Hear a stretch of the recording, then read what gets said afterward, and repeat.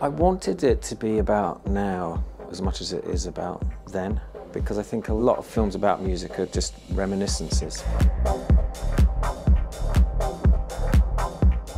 But I actually wanted to get the opinion on this piece of recent history. This, you know, what this thing happened over 10 years before they were born. I think they were quite puzzled by a lot of what they saw.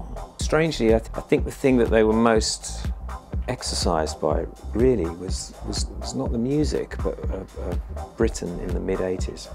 So the miners' strike. Was it for environmental reasons or was it just purely like economic? That's a really good question. Something they didn't really, couldn't really comprehend when they saw this riot of like white men in the countryside.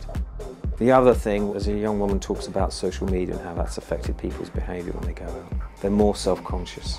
So they're less likely to behave or dance or dress in a certain way. You don't lose yourself as much because you just have to keep your brand going. They were amazed that there are no phones, basically.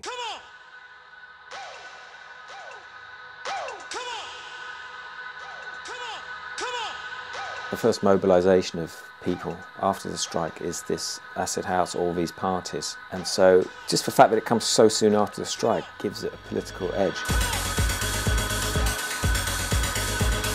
The fact that the music is totally without politics, or appears to be, doesn't really matter because what it looked like to the government was something that was the problem. You come out of a recession and you have a, period of, de of intense deindustrialisation in Britain, and so you have these huge spaces that are empty, factories, warehouses and so on, which are perfect places to put on parties.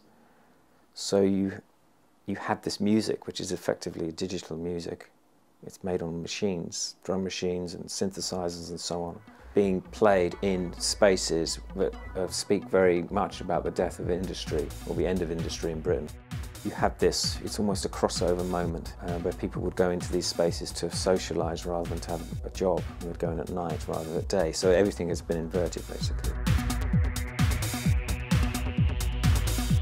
I think this music was more about the music than the drugs or the politics, frankly. I think what we, we tend to forget is that the music was really amazing, it was fantastic. It was super futuristic. It still sounds great.